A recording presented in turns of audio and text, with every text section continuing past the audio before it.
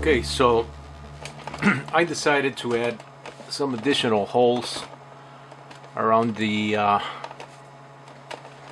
base uh, profile. The base plates are these plates here. These are the ones that uh, comprise the uh, support for the seats, the servo, and also uh, do the bracketing of the bottom section of the frame and the rear section. So I decided that if I'm going to be installing seats here I'm going to probably need a few mounting holes here between the the two plates. If I decide to put some kind of a, a, um, a block or something in between the the uh, the plates. The plates are spread out at half inch because that's the uh,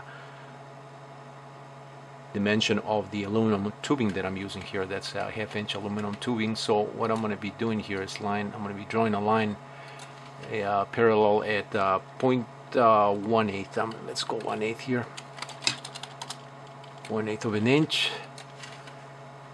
I'll go one right there, one right there, and maybe I'll add one here in case I need to uh, attach a, a, panel of some sort. I'll have the the mounting holes right at the front there. Okay, I need to change this last one this this drilling sequence here follow the uh, original drilling sequence. So it's going to going to start first drilling sequence then it's going to come back and do all these additional holes because I forgot to do that originally in the, the first pass. And then it's going to do all the profiling. So let's take a look at that. Go th through the simulation here and sure enough holes the last one stop right there and then it follows with this last pattern and then it does all the profiling. One more time here I'll slow uh, the tool down. Beautiful. Save that. Save and make the program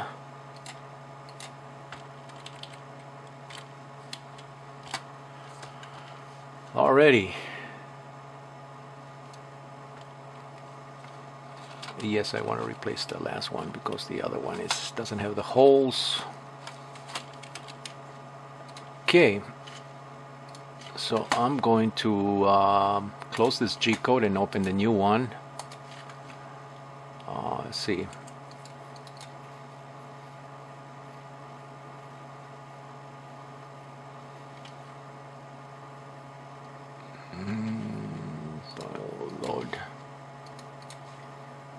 There we go, and that's the new one. It's got a different name. So I'm going to edit this, same thing I did before. This normally gets taken care of by the post processor if I have the post processor for the machine, but I don't have that in this uh, computer, so I'm just going to do it manually.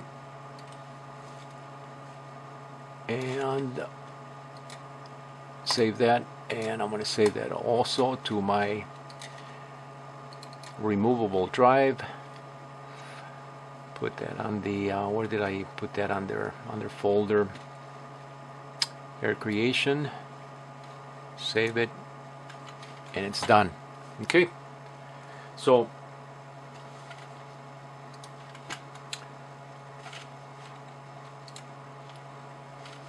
So I'm going to take it to my other uh, machine that's got the CNC uh, machine there and I'm going to cut these parts and then I'll come back to this video and I'll start assembling with the aluminum uh, uh square tubing.